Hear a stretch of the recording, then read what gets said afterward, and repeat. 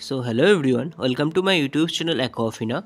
So today I am going to discuss about neon tetra pregnancy. So neon tetra like most fish do not experience pregnancy as mammals do. Instead of carrying the offspring internally, they spawn externally. So here are the some signs and behaviors that indicate a female neon tetra is ready to spawn. Number 1 is the abdominal changes. So before spawning, female neon tetra may appear slightly rounder or fuller in the abdomen. This is because their ovaries are developing eggs in preparations for the spawning.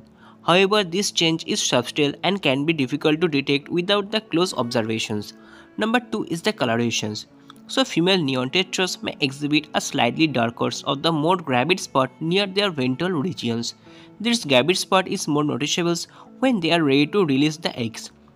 It appears as a darkened area indicating the presence of the eggs ready for the fertilizations.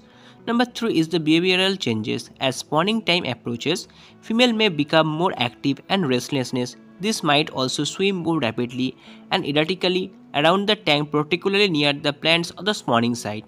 Number fourth is the male attention. So male neon tetra will often show increased interest in the females that are ready to spawn. They may swim alongside the female displaying their brightest color and attempting to nurse her towards the potential spawning site. Number fifth is the egg laying behaviors. When ready to spawn, females will release her eggs into the waters typically in areas with dense vegetations or other suitable surface for egg attachment.